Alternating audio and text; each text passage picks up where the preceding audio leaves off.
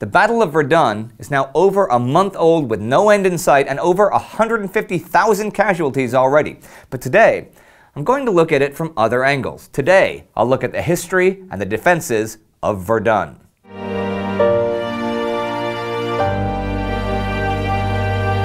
I'm Indy Neidell. Welcome to the Great War. Last week, the Russians launched a huge offensive on the northeastern front and actually made attacks along the whole front down to the Romanian border. But these attacks gained little ground for tens of thousands of casualties. The British advanced in German East Africa, while at Verdun, the carnage continued near Avocourt, where attack and counterattack produced nothing but corpses. Okay, the history and the fortress of Verdun. Back in Roman times, Virodunum was already a fortified camp, once sacked by Attila the Hun. The Treaty of Verdun in 843 was signed by the three sons of Louis the Pious, the heirs of Charlemagne. This resulted in the creation of the medieval German kingdom, which was the largest part of the Holy Roman Empire, as well as the Kingdom of France itself. Look it up. Good stuff. Now, the treaty made Verdun part of France, but in 923 it fell under Germanic rule and remained that way for over 600 years. After becoming French again, it was pretty much besieged once a century until 1916.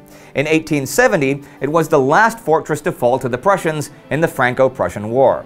The fortress of Verdun was now, supposedly, the strongest one on Earth, and its reputation had indeed been tested at the Battle of the Marne. German forces had nearly encircled it, and French Commander-in-Chief Joseph Joffre ordered it to be abandoned. But Maurice Sarrail, who's now the French commander in Salonika, disregarded the order.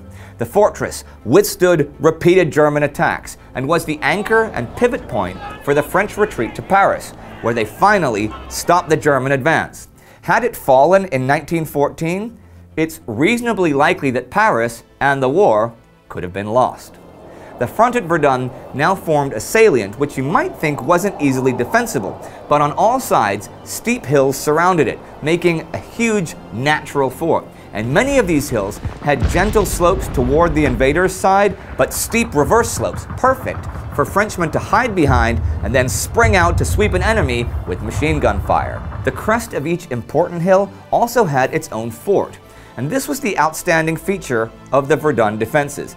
If you look at German maps from 1914, there were a full 20 major forts and 40 more minor forts listed at Verdun. On the right bank, the forts were sort of in an outer and two inner rings. The outer was where forts Douaumont and Vaux lay, and the innermost was on the heights, overlooking Verdun with Belleville and Saint-Michel. On the left bank, there were two lines, and the most important of these was the outer one, that was five forts along the Bois Bourrus Ridge. Each fort was situated so it could fire on any enemy approaching its neighbor, right? The guns were under heavy steel shells in retractable turrets, so could only really be taken out by a direct artillery hit. There were machine gun turrets and flanking blockhouses, and the bigger ones could hold a company of infantry underground, who were often protected with reinforced concrete and earth up to three meters deep. The most powerful fort, the cornerstone of the whole thing was Fort Douaumont, which had fallen in February to the Germans without firing a shot.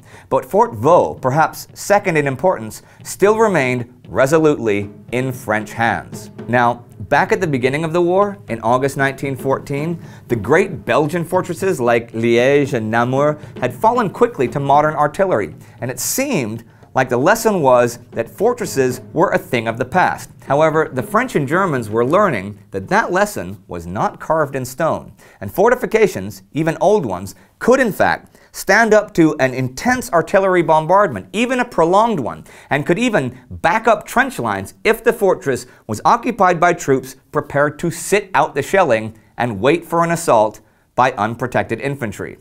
In a way, it was inexperience that was the downfall of the Belgians a year and a half ago.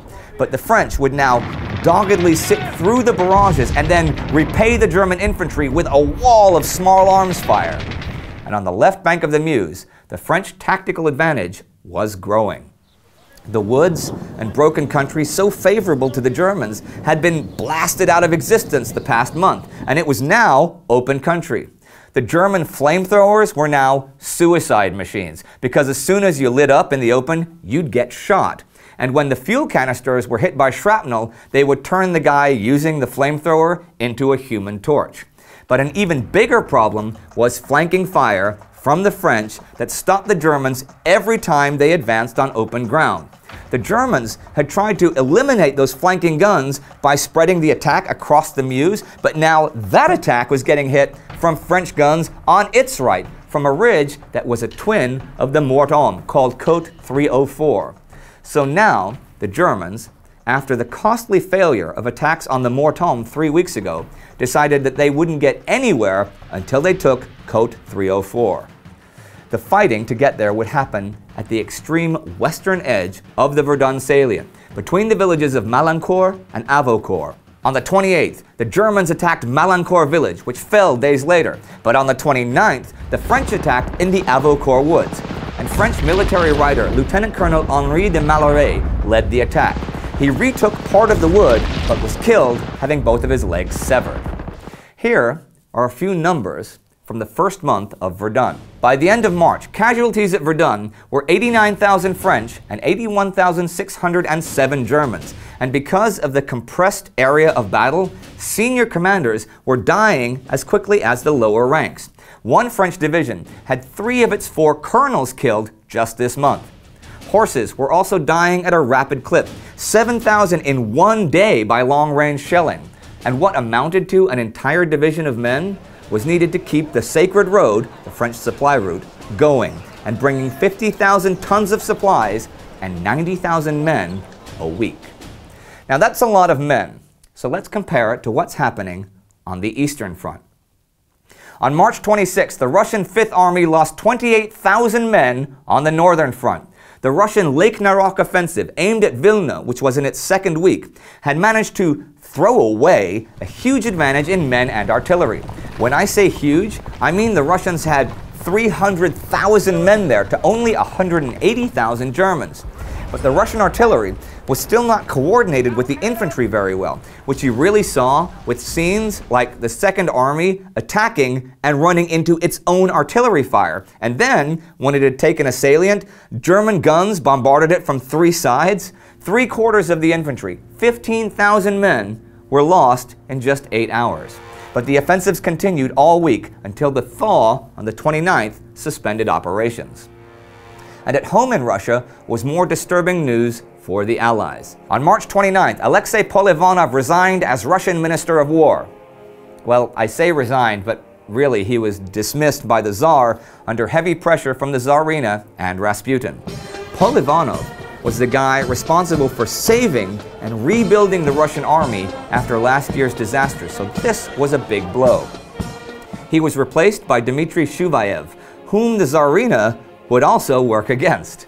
And here are some naval notes to round out the week. On March 23rd, a German sub sank the Folkestone Dieppe ferry Sussex, which it thought was a troop ship. 50 passengers drowned, including the Spanish composer Eduardo Granados.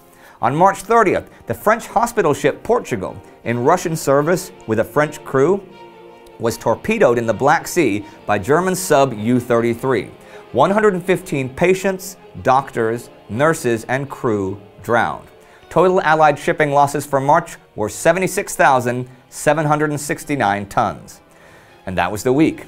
Enormous casualties at Lake Naroch, enormous casualties at Verdun, and civilians and medical staff being torpedoed at sea. We've seen enormous death tolls often during the war, but they were more often on the Eastern Front than any other theater of war, and most often Russian. But now we see a new phenomenon. Casualties on the Western Front as high as those in the East.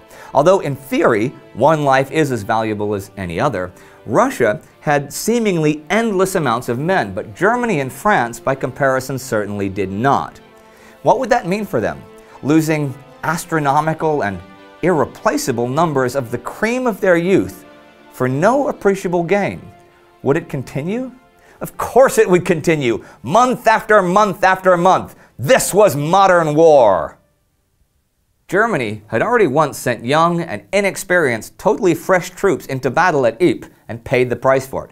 Even the enemy British soldiers were shocked by the slaughter.